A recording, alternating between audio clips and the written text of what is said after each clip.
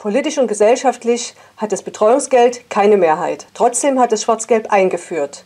Eine unsinnige und teure familienpolitische Maßnahme.